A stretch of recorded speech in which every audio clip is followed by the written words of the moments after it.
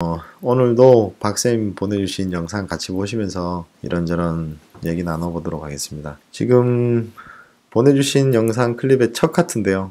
한이는 달리고 있고 여기 박쌤 서 계세요. 잘 안 보이셔도 안 보이시는데 서 계시는데 제가 요 영상 외에 어, 요 이전에 사실 여기에 뭐 방목인지 훈련인지 잘 모르겠습니다. 근데 이 운동장에 들어가는 과정을 봤으면 싶었거든요. 왜냐면 이게 보통 방목지든 어, 운동장이든 말들이 이제 모래 목욕을 하거나 아니면 이제 풀려져 본 장소에 대해서는 입구가 문이 열려 있는 상태에서는 이제 치고 들어가요.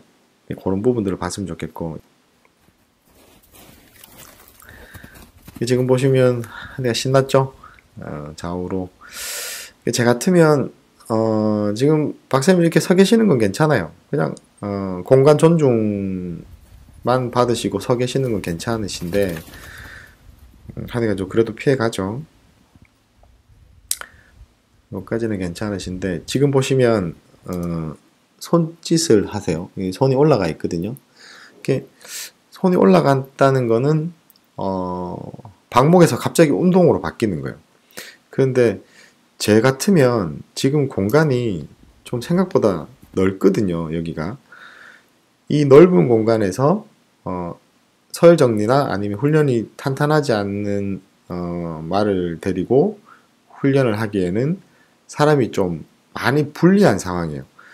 넓으니까 말은 사람보다 더 빠르고 어, 힘도 좋고 하니까 이제 마음껏 뛰어다닐 수 있는데 사람이 그걸 쫓아다니기에는 이 공간이 너무 넓다는 거죠. 결국 사람이 먼저 지치고 말 입장에서는 이제 자기가 우위에 서는 거죠. 원형에서 아무리 서열 정리를 어, 탄탄하게 해놔도 여기서 여기에서 이제 불리한 상황에서 훈련이 제대로 되지 않으면 결국에는 어, 사람이 진다는 거죠. 그래서 조금 아쉬운 부분은 제 같으면 안에 계시지 마시고 아예 밖으로 빠져서 어, 그냥 방목된 상태로 뭐 원 없이 좀 뛰게 만들어 주시고 모래 모욕도 좀 할 수 있도록 해주고 어, 아예 그 훈련과 방목을 조금 명확하게 하셨으면 좋지 않았을까 하는 생각이 듭니다. 오늘 좀 짧은 영상이죠. 오늘 여기까지 하겠습니다. 오늘도 어, 한이와 박근남 쌤과 기론 윤동호였습니다. 감사합니다.